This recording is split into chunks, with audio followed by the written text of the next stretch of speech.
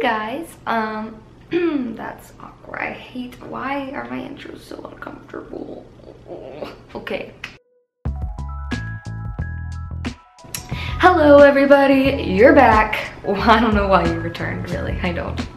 Uh, anyway, so given that I was just in California for the entire week, um, including Valentine's Day, I recently just got home and I saw my mom and all that and it was pretty great. And I saw my boyfriend which was pretty great. Um, and given that it was just Valentine's Day as well I thought I'd talk about love. Because what is more comfortable than that? I don't know. So here we go. Grab onto your pants buckle up. All right so when I was younger the thought of love never really crossed my mind. Um, I mean I knew that I mean I knew I loved my parents love you, mom and dad. And I knew they loved me, and it was in like the kid to parent, you know, loving way. That just kind of happens. That's normal when you're young. But like being eight and nine, I didn't really know what it was like to be in love with someone. And I guess like I knew, I thought it, you know, I like knew it was a feeling. I thought it was a feeling. And so, you know, you watch those like romantic comedies or whatever and it's always like, I know I love you. And he's like, I don't want you to move in. And it's a big hot mess. And I was like, well, I don't want any part of that. That doesn't sound like it's fun at all. And I'm not saying loving someone doesn't feel wild because I guess it does kind of, you know. But I'm just saying it's like not normally like the movies because movies are not real. They're like scripted. And I feel like everybody has a different definition of love, like a different, um, and a different way of showing that they love someone.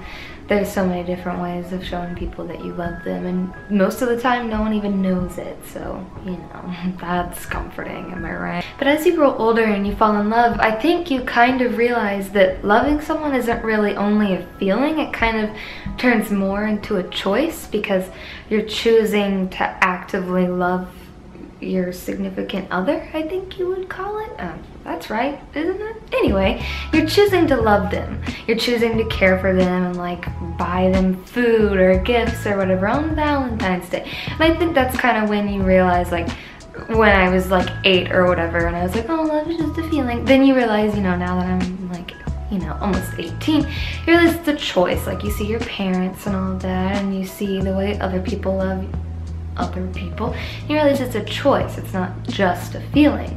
And so I guess that brings me to the fact that love isn't easy. It's really hard. It's it's like it seems like the greatest thing, but it's also one of the worst things. I was like, I read this quote or whatever that said, love is like a slap in the face, yet also a warm hug. It's like someone slaps you and then they hug you right after. I feel like that is the perfect example of love because you get hurt, but yet it's so comforting at the same time. Hence, slap in the face and a hug.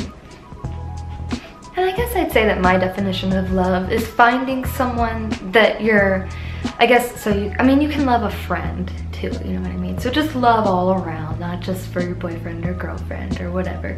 That, um, anyway, my definition of love, I think, would be you find someone that is just like you, yet so different from you in so many ways yet they're willing to care for you and put up with you and work for you no matter what the case is.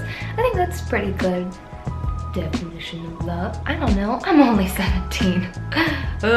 um, but I do feel like, what was I gonna say? Also, love is just kind of like clicking with someone. You just like them a lot. Like, you just start liking them and you're like, okay, well, I really, really like this person. And then it just kind of goes into that. And I think it's pretty great.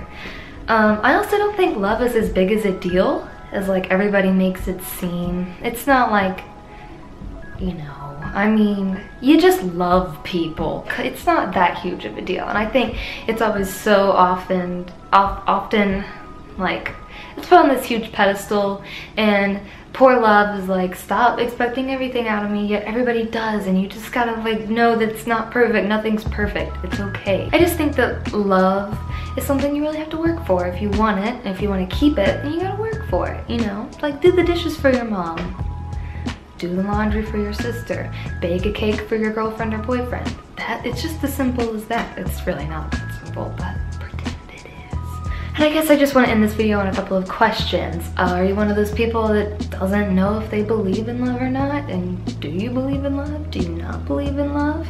Um, what's the first thing that comes to mind when you hear the word love or when you think of love? And what's your definition of love? You know, I guess that's kind of a big one. But uh, anyway, other than that, that is it. I talked to you about love. You're welcome. See you guys later. Bye. Okay, sweet. We're done. We're done.